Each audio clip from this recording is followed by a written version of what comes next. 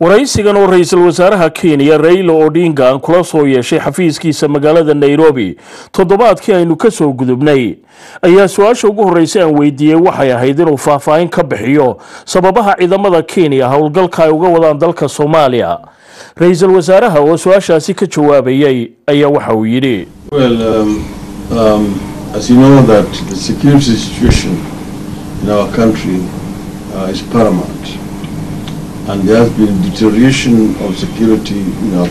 waxa uu yidhi sidaad ka warhayso xaaladda ammaanka ee waddanka iyagu waxa weeye taanu siinayno mudnaanta ugu weyn. Waxaana sii xumaanaysay buu yidhi xaaladda ammaanka ee waddankayaga taasoo ka dhalatay. Soo gelitaanka waddankayaga ay soo galeen iyo weerarada ay ku soo qaadayeen maleeshiyaadka ururka al-shabaab ee dhulka ku dhararan sohdinta laga bilaabo mandheera ilaa iyo wajeer ilaa laga soo gaaraya gaarisa waxaa kaloo jiray buu yidhi weeraro ka dhacay waddanka gudihiisa iyo iyadoo hub la soo gelinayay dalka kenya. Dhowaanahanna waxaa jirtay buu yidhi arrin hor leh oo soo korodhay. Taasoo ahayd buu yidhi ra'iisul wasaaruhu weerarada lagu qaadayay dadka dalxiisayaasha ah. Weerar ka dhacay aagga laamo ayaa waxaa lagu dilay ninkii waxaana lagu qafaashay xaaskiisii. Waxaana lagala tallaabay sohdinta oo waxaa lala tegay dalka soomaaliya haweenay faransiisa oo ku noolayd waddankan ayaa iyadana la qafaashay oo sohdinta lagala tallaabay. Waxaana hayay buu yidhi xanuunka kansarka waxaana markii dambe ay u geeriyootay dawo la'aan. Waxaana weli meydkeeda lagu haystaa halkaasi. Laba ka mid ahaa shaqaalaha gargaarka oo u dhashay waddanka sbain oo ka shaqaynayay xerada qaxootiga dhadhaab ayaa iyagana la qafaashay. Waxaanay dhammaanba arrimahaasi saameyn aada u weyn ku yeesheen waaxda dalxiiska ee waddankayaga sida aad ka warhaysana waxaa waddankayagu si aada u weyn ugu xidhan yahay dalxiiska. Waxaana dhalatay cabsi ku dhalatay dadkii dalxiisayaasha ahaa ee iman lahaa waddankayaga. Qaar fara badan oo ka mida dadkaasi ayaa iska baajiyey safaradoodii waxaanay dhammaanba arrimahaasi na gaadhsiiyeen buu yidhi inaannu nidhaahno intii loo dulqaadan karayay waa loo dulqaatay waxaananu bilownay buu yidhi howlgalaanu ugu magacdaray howlgalka linda inja. Oo af sawaaxiliga macnihiisa uu ku noqonayo howlgalka lagu ilaalinayo waddanka. Ciidamada iyaduna waxay ka tallowsan yihiin sohdinta umana joogaan soomaaliya iyagoo ah ciidan soo duulay ee waxay halkaasi u joogaan si ay hubaal uga dhigaan oo ay u sugaan. Ammaanka sohdinta aanu la leenahay waddanka aanu deriska nahay ee soomaaliya ra'iisul wasaaraha kenya raila odinga ayaa waxaan weydiiyey waxa uu kaga jawaabayo beeninta ururka al-shabaab ay beeniyeen inay iyagu ka dambeeyeen afduubka lagula kacay dadka dalxiisayaasha ahaa iyo shaqaalaha gargaarka isagoo su'aashaasi ka jawaabayeyna ra'iisul wasaaruhu waxa uu yidhi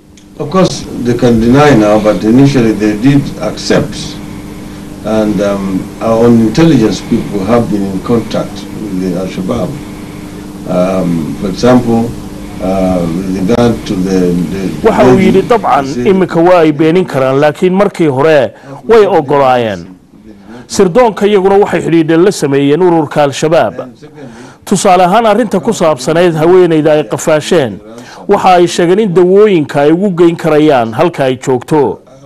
Sidee ayay dawooyinka ku gaadhsiin karayeen haddii aanay markaasi ka warhaynin halka haweenaydaasi lagu hayay?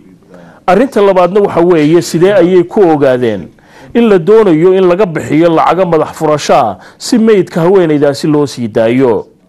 Arrimahaasina waxa weeye dacaayado ay samaysanayaan oo siyaasada ay kaga raadinayaan arrimahaasi.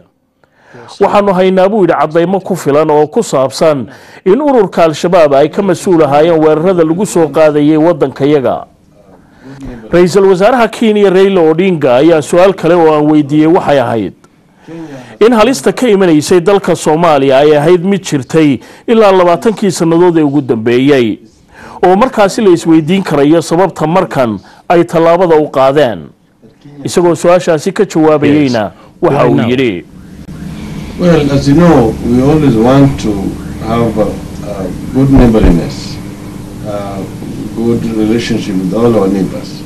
Kenya has never uh, attacked any of the neighbors. Waxa uu yidhi sida aad ka warhayso waxaanu mar walba doonaynay inaannu xidhiidh wanaagsan oo derisnimo ah. Aanu la yeelanno dhammaanba waddamada aanu jaarka nahay kenya weligeed weerar kumay qaadin buu yidhi waddamada ay deriska yihiin midkoodna ilaa intii xorriyadda aanu qaadanay waxaana weeye buu yidhi markii ugu horreysay ciidamada kenya ay ka gudbaan sohdintayada sannadihii badnaa ee xorriyadda aanu haysanay iyagoo markaasi daba jooga cadow aanu leenahay. Waxa aanu doonaynaana ma dhaafsiisna buu yidhi inaannu rabno xidhiidhka ugu wanaagsan inaannu la yeelano deriskayaga gaar ahaana soomaalida aanu jaarka nahay su'aal kaloo aan weydiiyey ra'iisul wasaaraha kenya raila odinga ayaa waxay ahayd sida imika uu socdo howlgalka ciidamadoodu ay ka wadaan gudaha dalka soomaaliya. Howlgalkaasi oo imika socday muddo dhowr toddobaada. Ra'iisul wasaare raila odinga oo su'aashaasi ka jawaabayay ayaa waxa uu yidhi troops uh, moved on and um, in pursuit of Al-Shabaab. They have liberated uh, more than 50% of uh, southern Somalia. Waxa uu yidhi sida aad ka warhayso ciidamadayadu waxay raacdaysanayaan al-shabaab waxaana ay xoreeyeen in ka badan boqolkiiba konton koonfurta soomaaliya waxay qabsadeen dhowr magaalo iyagoo magaalooyinkaasi qaarkood kala kulmay unbuu yidhi iska caabin aada u yar. Magaalooyinka qaarkoodna waxaa lagala hor yimid iska caabin. Marka si guud loo eegana horumarka ay samaynayaan waxa uu ahaa buu yidhi mid wanaagsan oo si fiican u socday. Umanay socon karaynin buu yidhi si ka dhaqso badan sida ay u socdeen. Iyadoo sababtuna ay tahay roobabka da'ayay oo xanibaad ku noqday sidii hore ay ugu sii socon laayeen ciidamadayadu laakiin sida aan sheegay buu yidhi arrintu ma aha dhulka ay qabsanayeen ee waxa weeye sidii ay soodintayada uga dhigi lahaayeen mid nabdoon oo ammaana. Magaalooyinkaanu qabsanayna ciidamadayadu waxay ka samaynayeen buu yidhi howlo taakulayna oo dadka lagu gargaarayo. Waxaana dawooyin ay siinayeen buu yidhi dadka meelahaasi degan waxaanay raashinkooda la wadaagayeen dadka gaajoonaya aagagaasi ku nool waxaananu ka codsannay buu yidhi beesha caalamku inay yimaadaan oo gacan ay ka geystaan howlgalkan. Si markaasi gargaar aadminimo ah ay ugu fidiyaan dadkaasi. Sababtuna waxa weeye dadkaasi waxa weeye dad beerahoodii falan kari waayey. Si cunto ay ugala soo baxaan noocii ay doontaba ha noqotee. Markaasaa cuntadiina ay yaraatay. Waxaananu ku faraxsannahay buu yidhi in jawaab fiican laga bixiyey arrintaasi oo iminka cuntadu ay soo gaadhaysa aagagaasi su'aal kaloo aan weydiiyey ra'iisul wasaare raila odinga ayaa waxay ahayd inuu si weyn uga hadlayo in damaca kenya uu yahay in ammaan ay ka dhigaan sohodimahooda ee laakiin dad kalena ay sheegayaan in ujeeddada kenya ay tahay in ay socdaan oo ay gaadhaan ilaa magaalada kismaayo. Isagoo ka jawaabayay waxaa ka jira hadalladaasi laysla dhex qaadayo ayaa ra'iisul wasaaraha kenya waxa uu yidhi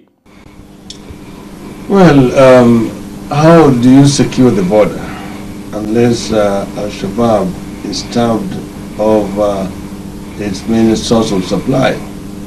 Um, to our knowledge, the, the major source of supply to Al-Shabaab of weapons and, and food is the port of Kismayo.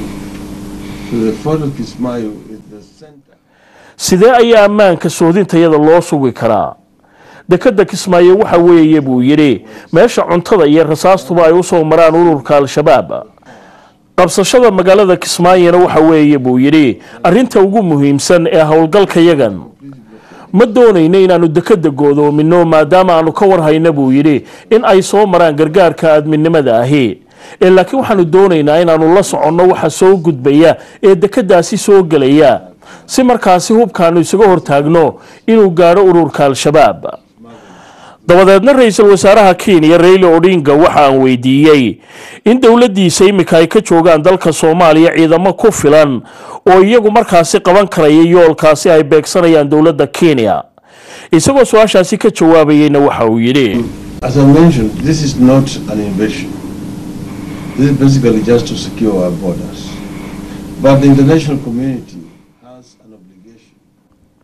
waxa uu yidhi sidii aan horeba u sheegay arrintani ma aha duulaan aanu ku qaadnay soomaaliya. Ee waxa weeye uun mid aanu hubaal kaga dhigayno ammaanka soodimaha iyaga. Beesha caalamkana waxa mas'uuliyada ay ka saaran tahay buu yidhi inay caawiyaan dadka soomaalida.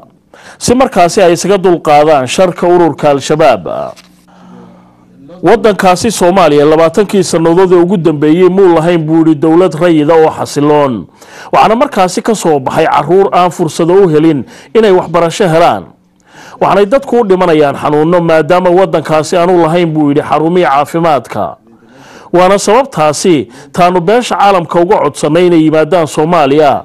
Si markaasi gacan ay uga geystaan kaabayaasha halbowlayaasha u ah adeegyadaasi sida jidadka aagaga la xoreeyey oo markaasina ay dhisaan dugsiyada iyo xarumaha caafimaadka iyo waxyaabaha la midkaa lana xoojiyo ciidamada amisom oo lagu daro ciidamo ka socda kenya oo hawsha ay kala wareegaan ciidamadayada si markaasi kaalinta ay qaadanayaan ciidamada kenya ay u noqoto uun buu yidhi ra'iisul wasaaruhu mid ay ku taageerayaan ciidamada amisom. Oo aanu markaasi ciidamadayada kala soo baxno dalka soomaaliya waxaanu doonaynaa buu yidhi inaanu uga soo baxno dalka soomaaliya sida ugu dhaqsaha badan ee suurtagalka Mr. Um, from the international community. Uh, but if I ask you about um, the reactions from the other neighboring countries like Ethiopia, Djibouti. Su'aal kaloo aan weydiiyey ra'iisul wasaare rayla odinga ayaa waxay ahayd in waddamada kale ee gobolkaasi ay kula socdaan dowladda kenya oo isku aragti ay ka yihiin. Howlgalka kenya ay ku samaysay dalka soomaaliya tusaale ahaana waddamada etoobiya iyo jabuuti in arrintaasi ay kula socdaan.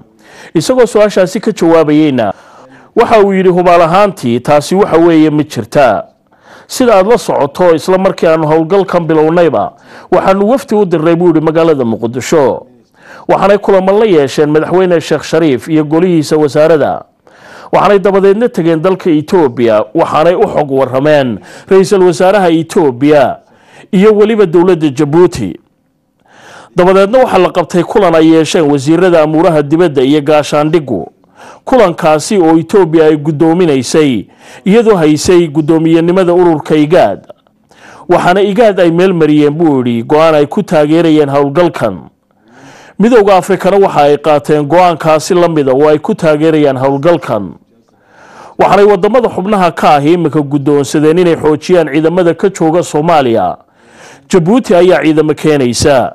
Uganda iyo burundi ayaa iyaguna ciidamo keenaya xitaa nigeria iyo wadamo kale oo afrikaan ah ayaa ciidamo keenaya markaasi arrintani ma aha mid kenya gaar ay ku tahay ee waxa weeye mid ay taageersan yihiin dhammaanba waddamada igaad iyo guud ahaanba qaaradda afrika oo dhammi Uh, uh, ra'iisul wasaaraha kenya raila odinga ayaa waxaa kaloo aan weydiiyey in laakiin bilowgii ay jirtay in hogaanka sare ee dowladda ku-meel gaarka ee dalka soomaaliya. Sida madaxweynaha iyo ra'iisul wasaaruhu ay aragtiyo kala duwan ka bixiyeen howlgalkan ay wadaan ciidamada kenya. Waxaana aan weydiiyey inay iminka madaxda soomaaliya ku raacsan yihiin howlgalkan ay kenya wado iyo in kale. Waxa uu yidhi dabcan sida aad ka warhayso markii howlgalkan aanu bilaabaynay waxaanu wafdi u dirnay magaalada muqdisho. Waxaana aanu saxeexanay buu yidhi heshiis isfahama waxaana dabcan ayaan darro ahayd buu yidhi in markii dambe. Madaxweynaha la siiyey talooyin qaldan.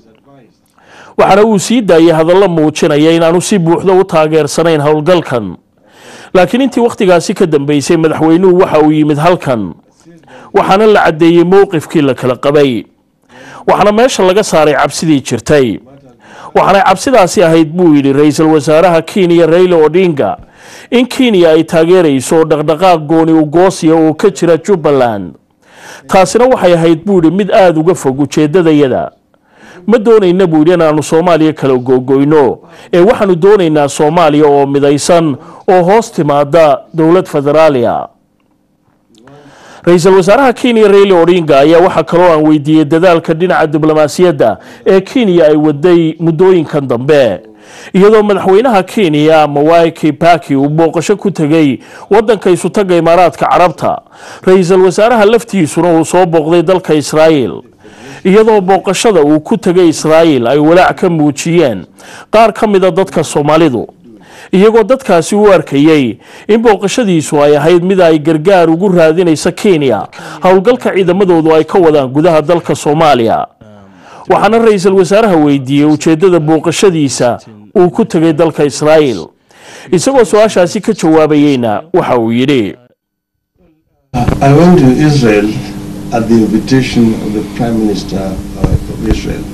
Benjamin Netanyahu. Waxaan ku tegay buu yidhi israa'iil martiqaad uu ii soo fidiyey ra'iisul wasaaraha israa'il benjamin netanyahu. Waxaana ahayd buu yidhi mid saameynaysay xidhiidhka labadayada waddan. Oo aanu ku eegaynay xidhiidhka naga dhexeeya marka la eego iskaashiga dhinaca dhaqaalaha. Wax xidhiidh ahna booqashadaasi lamay lahayn buu yidhi howlgalka ka socda dalka soomaaliya.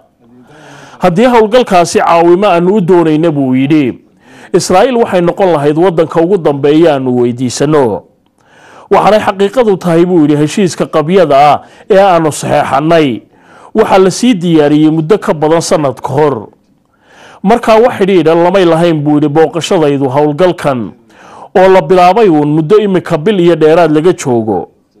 Waxaanay arrintani ahayd buu yidhi mid la xidhiidha ammaanka gudahee waddankayaga kenya tusaale ahaan buu yidhi sidii wax looga qaban lahaa argagixisada iyo sidii loo ilaalin lahaa goobaha ku yaalla waddanka kenya gudihiisa. Sida aad ka warhaysana kenya waxaa hore loogu soo qaaday buu yidhi ra'iisul wasaaruhu weeraro argagixisaa markaasi wax xidhiidha lamay lahayn wixii gardarro ah ee debadda nagaga imanaya ee waxay ku saabsanayduun ammaanka gudaha kenya ra'iisul wasaaraha kenya raila odinga oo ka jawaabayay su'aal aan weydiiye oo ahayd taageerada howlgalkoodan ay uga heleen waddamada carabta ayaa waxa uu ku jawaabay. Waxaan odhan karaa buu yidhi waxaanu ilaa xad taageero uga helnay waddamada carabta howlgalka aanu wadno. Waxaana ku faraxsanahay buu yidhi taageerada aanu ka helnay. Laakiin buu yidhi haddii aan dib ugu noqdo arrintii ku saabsanayd booqashadii aan ku tegay israa'iil. Maan teginuun israa'iil ee waxa kaloo aan tegay buu yidhi falastiin waayo magaalada beyt laxam waxa ay ku taallaa falastiin. Waxaana halkaasi igu qaabilay saraakiisha falastiiniyiinta oo ii sheegay buu yidhi in ay doonayaan taageeradayada waxaanan mas'uuliyiinta israa'iiliyiinta u sheegay in kenya ay taageersan tahay. Xal ku yimaada laba wadan oo ay kala yeeshaan israa'iiliyiinta iyo falastiiniyiintu. Oo la helo buu yidhi laba wadan oo isku barbara oo ay kala leeyihiin israa'iiliyiinta iyo falastiiniyiintu mowqifkaasina ma aha buu yidhi mid aanu marnaba ka leexleexanaynay. Waxaana kaloo aad xusuusan tahay buu yidhi inaan hore booqasho ugu tegay iiraan oo weliba mar keliya uun maahe aan soo booqday laba jeer. Markaa dadka arrintan dacayadda ka bixinaya waa qaar ka dayaya buu yidhi inay siyaasadeeyaan booqashadayduna may ahayn buu yidhi mid carabta aan kaga soo horjeedo ee waxay ahayduun mid la xidhiidha xidhiidhka u dhexeeya israa'iil iyo kenya. Xidhiidhkaasi oo soo jiray tan iyo markii kenya ay xornimadeeda qaadatay.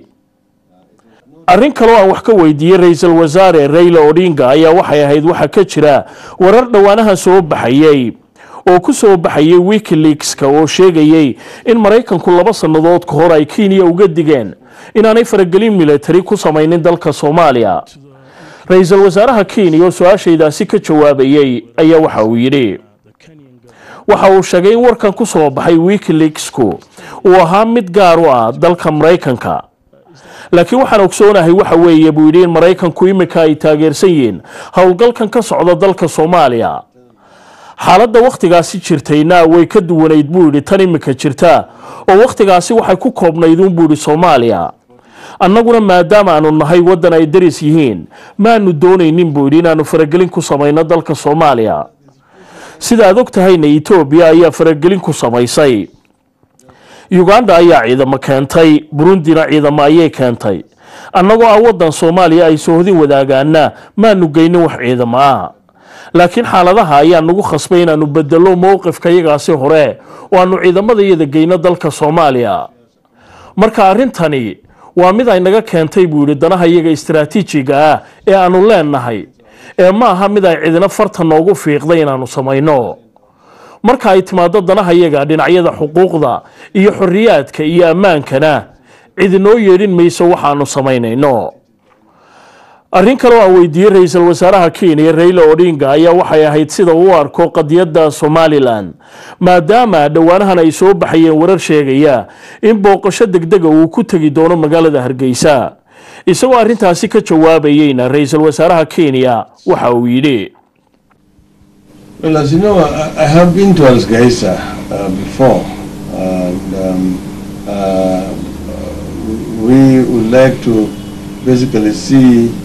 the, solu- the resolution of this Somali issue once and for all. So um, waxa uu yidhi sida aad og tahay hore ayaan u soo booqday magaalada hargeysa. Waxaananu doonaynaa buu yidhi in si kama dambayna loo soo afjaro arrintaasi soomaalida gaarka u ah. Haddii laygu soo marti qaadana waan tegi doonaa buu yidhi magaalada hargeysa. Mana doonayna buu yidhi inaannu faragelin ku samayno arrimaha gudaha ee dalka soomaaliya. Sida ay u xallisanayaanna waa mid soomaalida u taalla buu yidhi. Laakiin waxay la tahay in somalilan laga qabtay buu yidhi howlo aada u wanaagsan. Waxaana ka jirta nabadgelyo iyo howlo horumarin oo halkaasi ka socda. Taasoo ay kaga duwan tahay buu yidhi dhinaca koonfurta.